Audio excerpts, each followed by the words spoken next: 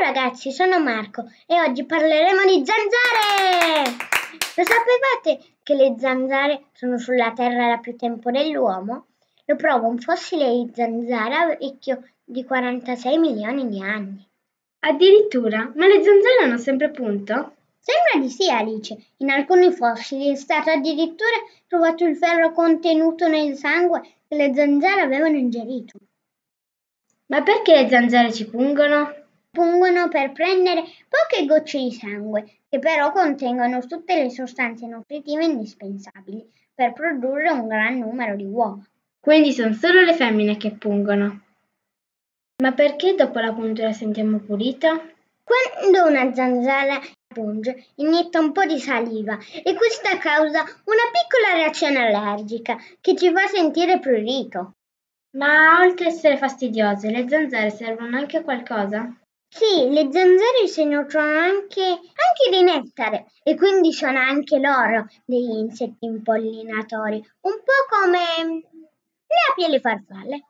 Sono inoltre fonti di cibo per uccelli, pipistrelli e anche per molti insetti acquatici che vivono nelle acque stagnanti. Che cosa c'entrano le acque stagnanti con le zanzare che volano nell'aria? C'entrano, perché prima di volare le zanzare vivono proprio nelle acque stagnanti. Guarda, assomigliano alle vermiciattoli che nuotano liberi nell'acqua.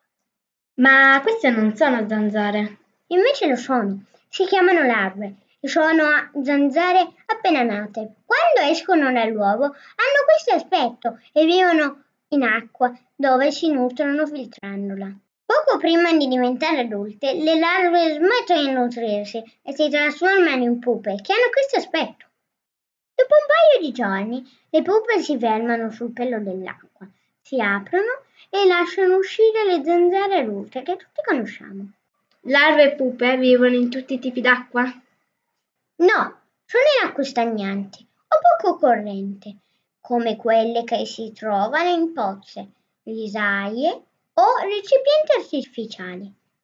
La prima difesa contro le zanzare è proprio quella di trovare tutti i posti in cui possono svilupparsi le larve, anche in casa, in cortile o nel giardino.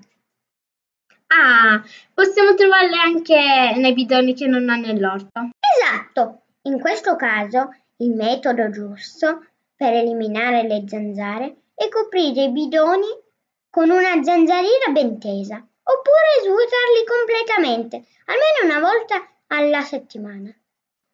E in che altri posti possiamo trovare le larve di zanzara? Puoi trovarle anche nelle acque, dei vasi, dei sottovasi e dei tombini. Ma come faccio a svuotare i tombini? Dove non si può togliere l'acqua, si possono usare dei prodotti che impediscono alle larve di diventare zanzare adulte. Ottimo! Niente adulti, niente punture.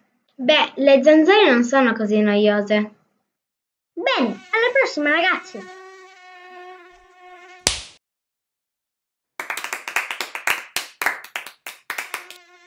Ma queste non sono zanzare.